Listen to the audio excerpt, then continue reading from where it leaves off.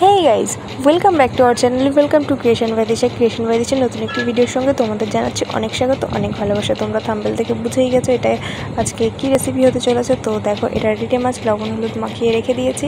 তো এবার এই মাছটা তৈরি করব। দেখো, গ্যাসে কড়াই বসিয়ে দিয়েছি। কড়াই গরম হয়ে গেছে এবং কড়াইয়ের মধ্যে আমি এখন সর্ষের তেল ঢেলে দেবো। তো তেলটা গরম হবে। সে পর্যন্ত আমি একটু অপেক্ষা করতে থাকি।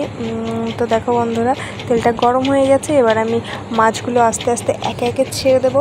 কারণ এই মাছটা প্রচণ্ড ছাড়লে কড়াই থেকে আর কি তেল ছিটতে হয় তো কেউ যখন করবে, তো কড়াই কিছু চাপা দিয়ে দিতে পারো তো সম্পূর্ণ মাছগুলো আমি যখন ছাড়ার পর কড়াই চাপা দিয়ে দিলাম, তো দেখো এখানে আমার মাছগুলো প্রায় লাল লাল করে ভাজা হয়ে গেছে। তো দেখো এখানে আমার প্রায় মাছ ভাজা কমপ্লিট এবার আমি আলুগুলো ভেজে নেব। তো তোমার সঙ্গে থাকো, দেখতে থাকো। তো দেখো বন্ধুরা, কড়াইয়ে মানে ওই একই তেল ছিল, তার মধ্যে আমি কিছু আলু দিয়ে দিলাম। আলুগুলো এবার আমি লাল লাল করে ভেজে নেব। তো দেখতে থাকো। আর এখানে আমি কিছু মশলা নিয়ে নিয়েছি। পেঁয়াজ পেস্ট, লঙ্কা পেস্ট, আদা পেস্ট, রসুন পেস্ট, জিরে পেস্ট, পেঁয়াজ কুচি আর টমেটো কুচি।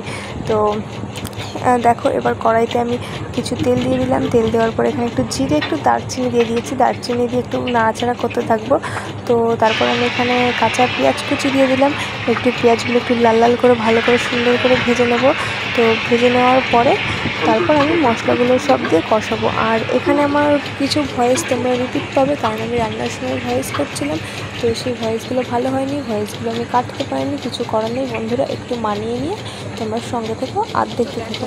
তো দেখতেই পাচ্ছ, এখানে আমার মশলা পুরো কমপ্লিট তো দেখো, এবার এই মশলার পেস্টগুলো সব কড়াইতে চলে যাবে।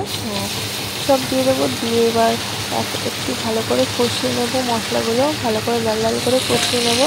তো দেখো, মশলাগুলো আমি কষাতে থাকছি, মশলাগুলো একটু লাল লাল ভাজা হয়ে গেলে এর মধ্যে আমি টমেটো দিয়ে দেবো। তো দেখো মশলা আমার প্রায় লাল লাল করে ভাজা হয়ে গেছে। মধ্যে টমেটো দিয়ে দিলাম।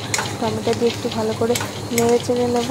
তো তোমাদের দেখাই যে আলুটা আমি ভেজে রেখেছিলাম। তুলে রাখা আলু যেখানে আছে, এই আলুগুলো আমি এবার কড়াইয়ের মধ্যে দিয়ে দেবো। দিয়ে ভালো করে ভেজে নেব।